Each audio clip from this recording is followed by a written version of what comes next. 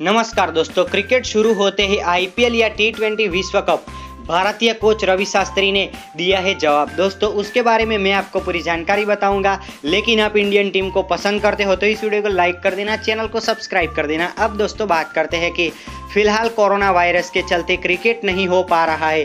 हालाँकि आईसीसी और इसके सभी बोर्ड जल्द से जल्द क्रिकेट को लाना चाहते हैं, लेकिन फ़िलहाल कोई भी देश इस स्थिति में नहीं है कि क्रिकेट का आयोजन करा सके। इसी बीच भारतीय टीम के कोच रवि शास्त्री ने एक बयान दिया है, जिसमें उन्होंने कहा है कि आईपीएल को प्राथमिकता मिले।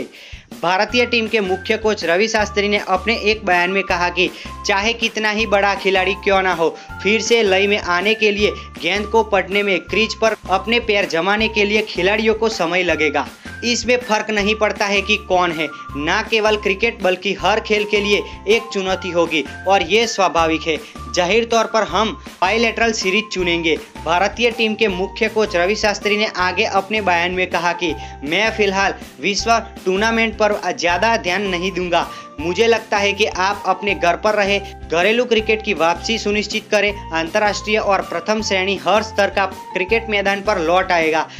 अगर भारत को विश्व कप की मेजबानी और द्विपक्षीय सीरीज़ के बीच में से चुनना हो तो ज़ाहिर तौर पर हम द्विपक्षीय सीरीज़ को ही चुनेंगे।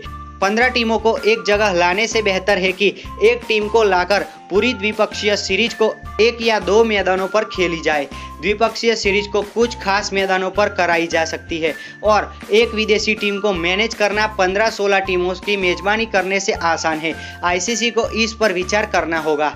रवि शास्त्री ने आईपीएल को प्राथमिकता देने की भी बात कही। उन्होंने कहा, ऐसे में भारत ने घरेलू क्रिकेट में जो खो दिया है, वो जैसे आप आईपीएल को उदाहरण मान ले। जब क्रिकेट फिर से शुरू हो तो हम आईपीएल को प्राथमिकता दे सकते हैं। अंतर्राष्ट्रीय टूर्नामेंट और आईपीएल में फ़र्क ये है कि आईपीएल एक या दो शहरों के बीच खेला जा सकता है और इसे मैनेज करना आसान है। तो दोस्तों, इस वीडियो के बारे में आपकी क्या राय है?